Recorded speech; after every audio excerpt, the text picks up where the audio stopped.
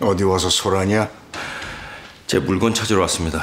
쓸데없는 소리 할 거면 가봐. 제 USB 주십시오. 이게 쓸데없는 소리입니까? 아버님, 반칙 좀 그만하십시오. 너 정말 여전하구나. 앞뒤 안 거리고 이렇게 무식하게 들이대는 거 보면 네, 제가 억울하고 분통이 터져서 무식해졌습니다. 그러니까 USB 돌려주십시오. 억울하게 인생 망가진 사람들 바로 잡아야 되니까 그런다고 바로 잡을 수 있다고 생각해? 바로 잡아야지요. 바로 잡을 수 있습니다. 우선 네 인생부터 바로 잡는 건 어때? 너 이렇게 무모하게 살다가 수빈이한테 아빠란 말은 들을 수 있겠냐? 선글라스를 쓰고 있으니까 눈에 뵈는 게 없습니다. 그래서 남의 걸 도둑질을 해갔나 보죠. 눈에 뵈는 게 없어서. 순순히 주실 거라고 기대하지 않았습니다. 그렇다면 금산이 아니겠죠.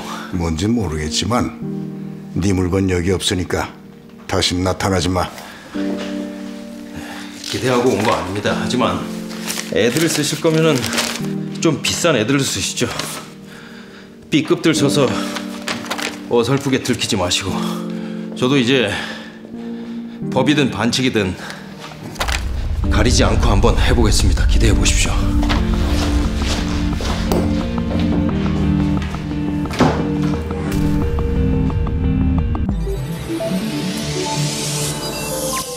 KBS.